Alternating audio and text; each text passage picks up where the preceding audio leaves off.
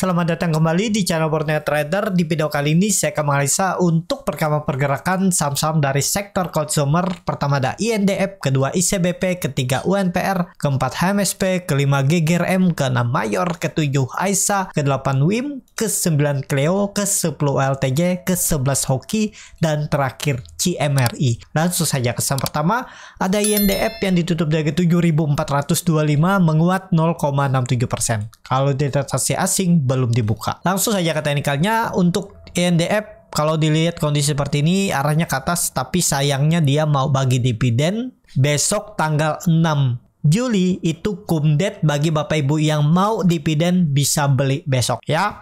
Dividennya 257 per lembar saham dengan harga sekarang berarti sekitaran tiga setengah persen lebih ya. Oke lah, nggak masalah dividen trap menurut saya. Tetap potensi besar INDF akan nutup dividennya tapi ini disclaimer on untuk INDF.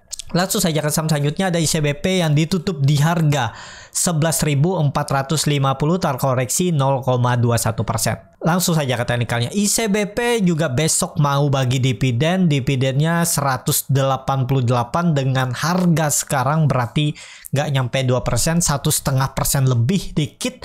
Nggak masalah, ambil aja dividennya kalau Bapak Ibu berminat dan hold yang sudah punya dapat dividen potensi capital gain potensi besar dividennya nggak nyampe 2% harusnya sih ke atas. Tetap targetnya bisa 12.000 kalau nggak tak bulan ini ya bulan depan. Itu potensi upside masih bisa 6% lagi. Menarik lah masih untuk ICBP ya. ICBP juga akan potensi besar tahun ini ya menurut saya bisa all time high. Jadi kesempatan beli di mana dia membentuk swing low-nya nanti atau beli harga sekarang juga masih bisa. Besok kum date-nya ya tanggal 6 Juli. Jadi seperti itu untuk ICBP langsung saja ke saham selanjutnya ada UNPR yang ditutup di harga 4310 terkoreksi 0,46%. Kalau dia transaksi asing, net sell. Kalau dia broker semuanya UNPR ada distribusi. Langsung saja ke teknikalnya untuk UNPR belum ke mana-mana juga mau bagi dividen. Oh, ex date-nya besok hari ini Bapak Ibu yang punya hari ini berarti udah dapat dividen. Dividennya nggak nyampe 2%, nggak masalah juga.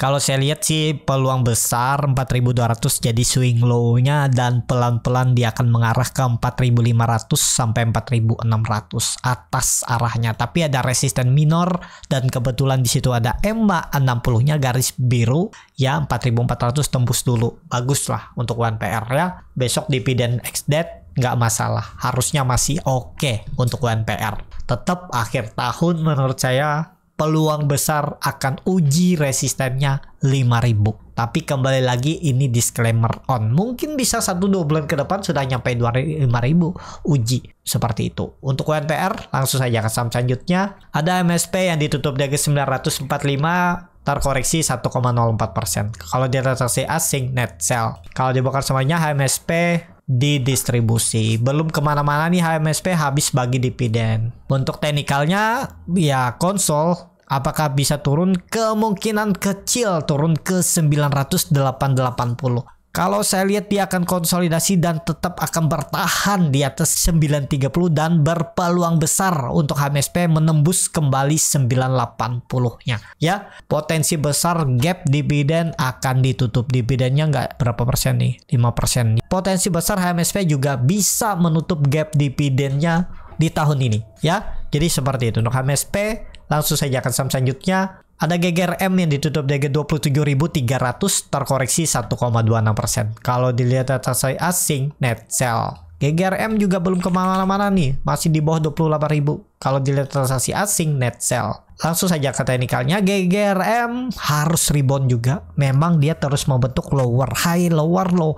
Jebol 26.000 itu jelek atau 26.500 saja tuh di bawah itu udah indikasi jelek. Tapi kalau saya lihat GGRM bisa masih konsolidasi. Tapi karena mau bagi dividen dividennya 1200 harga sekarang berarti hampir 5% 5% hari Senin tanggal 10 dan ex date-nya Jumat. Dan cum date-nya Jumat. Dividen trap jebol ya. Berarti analisa teknikal juga belum bisa dipakai karena ya dia akan bagi dividen berarti dividen trap mungkin gak dia naik besok 5% sampai hari Jumat karena Jumat kumdet kemungkinan susah nggak ke mana-mana kalaupun naik maksimal 28.000 dan potensi besar dividen trap dividen trapnya ke 26.000 Nah ini ya. Jadi seperti itu ya. Untuk GGRM bisa dijaga juga ya. Tapi disclaimer kemungkinan bisa dijaga nih. Trendline downtrendnya nih. Pas kebetulan di dividend trapnya. Kalau misalnya ya GGRM dua hari ke depan nggak ke mana-mana di situ-situ aja di 27 ribuan. Gap dividennya itu di 26 ribuan. Jadi kemungkinan tes saja nih dan mungkin akan konsolidasi di bawah 27 ribu akhir tahun baru mungkin naik. Potensi ditutup ya semoga aja. Peluang besar sih bisa ditutup juga. Seperti itu tuh GGRM. Langsung saja ke saham selanjutnya. Ada Mayor yang ditutup di harga 27.000 menguat 3,05%. Kalau dilihat transaksi asing net buy. Kalau di broker semuanya Mayor diakumulasi. Langsung saja ke teknikalnya mayor rebound ya. Potensi uji lagi 2750 iya. Peluang besar karena volume meningkat. Jadi konsolidasinya masih oke okay ya. Ya kelihatan kan sudah konsolidasi seperti ini ya beli-beli dekat support aja. Kalau bawah support out. Kalau beli buy on dip bisa nggak? Kalau pertanyaannya seperti itu karena ini kan dia sepertinya membentuk pola downtrend channel kalau dia tembus 20 2750-nya harusnya bagus lanjut ke sama masih target saya itu all time high-nya.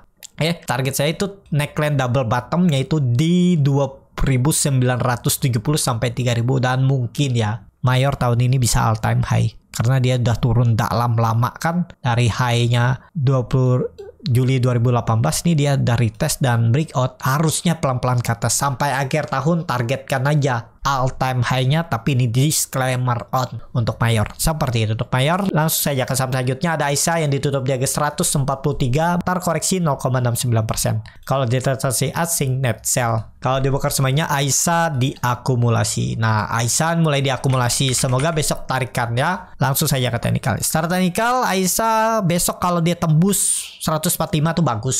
Kalau mau beli harga sekarang cut loss saja kalau udah jebol 140 ya. Jadi seperti itu aja. Kalau saya lihat coba lihat dulu time frame bulanannya lah. Doji. Ya peluang besar sih rebound tembus besok atau lusa 145 tuh bagus.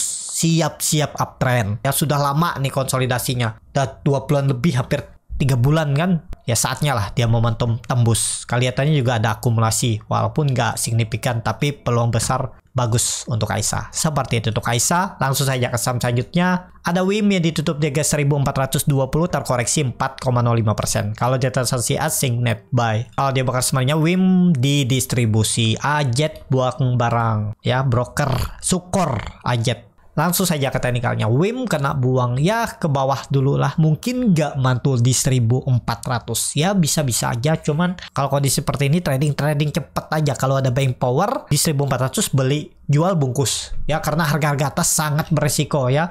Ini juga dia udah rally panjang nih dari 600 sampai 1500 kan.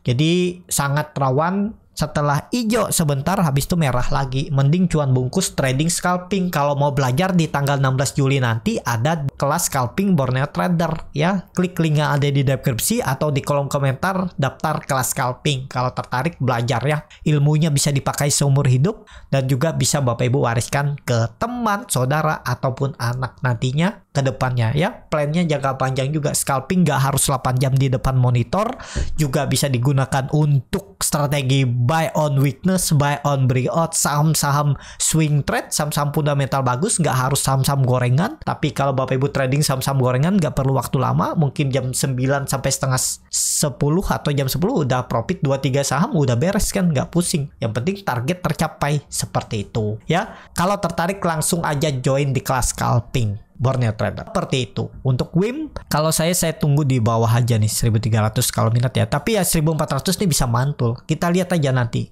besok untuk WIM. Seperti itu. Langsung saja ke saham selanjutnya. Ada Cleo yang ditutup menguat 5,83 persen ke harga 635. Langsung saja ke saham selanjutnya ada Cleo yang ditutup menguat 5,83 persen ke harga 635. Kalau dia transaksi asing net buy. Kalau dibakar semuanya Cleo diakumulasi. Langsung saja ke teknikalnya. Cleo hari ini nyentuh 670 dan bagus nggak? Harusnya bagus. Masih dalam pembentukan web 3. Web 3-nya nggak tahu nih di mana.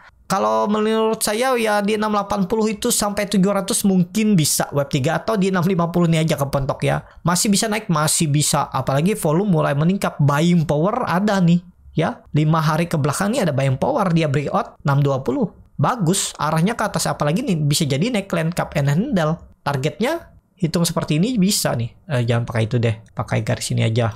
Nah, ya 780 all time high-nya. Mungkin gak all time high. Peluang besar all time high ya tahun ini, tapi disclaimer. Jadi follow the trend aja, Cleo masih oke. Okay. Seperti itu untuk Cleo. Langsung saja ke saham selanjutnya. Ada WLTJ yang ditutup di harga 1960 terkoreksi 2%. Kalau dia transaksi asing, net sell. Kalau dia bukan semuanya ULTJ diakumulasi. Langsung saja ke teknikalnya. ULTJ wajar di puncak kalau kepatok ada profit taking. Apakah besok bisa lanjut? Ya kita lihat besok ini belum pasti turun juga, cuman resikonya lebih besar kalau Bapak Ibu baru mau beli di harga pucuk karena support sandarannya itu EMA 20 garis merah itu di 1800. Ya takutnya dia gagal tembus ke bawah dulu dan konsolidasi seperti ini kalau dilihat dari volume memang meningkat. Mungkin tembus bisa jadi tembus. Cuman ya namanya trading itu kita harus minimalisir resiko dulu. Gampang beli saham tuh. Tapi kan gimana kalau di luar pen harus cut loss atau average down ya seperti itu. Untuk LTJ langsung saja ke saham selanjutnya ada hoki yang ditutup di harga 79 menguat 1, terkoreksi 1,25%. Kalau di transaksi asing net buy. Kalau dibakar semuanya hoki di distribusi. Langsung saja ke teknikalnya hoki kondisi seperti ini ya kalau Bapak Ibu masih toleransi bisa aja. Kalau misalnya besok dia turun lagi tinggalin aja udah 77 tuh tinggalin aja ya. Jadi seperti itu. Untuk hoki kondisi seperti ini harus rebound satu dua hari ke depan dan dan dia juga mau bagi dividen satu per lembar saham. Harusnya sih bertahan di atas 80. Besok rebound. Hoki harus rebound kalau mau bagus. Tapi ini disclaimer on. Langsung saja ke saham terakhir. Ada Cimori yang ditutup di harga 4.250 menguat 0,23%. Kalau di transaksi asing net Bye. Kalau dibakar semuanya Cimori di distribusi. Langsung saja kata teknikalnya untuk Cimori ini harus bertahan ya. Kalau Bapak Ibu mau berminat yang penting jangan sampai dia turun di bawah 4200 tinggalin aja. Besok lusa minggu depan jebol 4200 tinggalin Cimori. Cimori harus rebound juga. Ini bisa jadi double bottom dengan target kenaikan 4600 4500 ya. Risknya kecil aja nih kalau berminat ya. Udah mulai kelihatannya oke okay, karena dia membentuk higher high high higher low. Tuh paling 3% cut lossnya dengan target profit minimal 5% dan ya sangat mungkin 8%. Itu aja ya targetkan untuk Cimori. Seperti itu. Cukup sampai di sini video kali ini. Terima kasih untuk Bapak Ibu dan teman-teman yang sudah menonton video ini sampai selesai. Apabila channel Borneo Trader ini bermanfaat dan bisa menjadi bahan pertimbangan Bapak Ibu dalam membeli, menyimpan dan menjual sahamnya, bisa klik tombol subscribe dan nyalakan lonceng notifikasi. Ada kritik, saran ataupun pertanyaan, bisa langsung tinggalkan di kolom komentar. Dan bagi Bapak Ibu dan teman-teman yang baru belajar trading, masih bingung memilih saham, bingung membuat trading plan, bisa join trading bersama Borneo Trader. Nanti dipilihkan saham-sahamnya dan dibuatkan trading plannya beserta chatnya dan juga free konsultasi portofolio. Kalau tertarik, DM Instagram Borneo Trader. Sampai ketemu, tetap semangat dan semoga bisa terus cuan.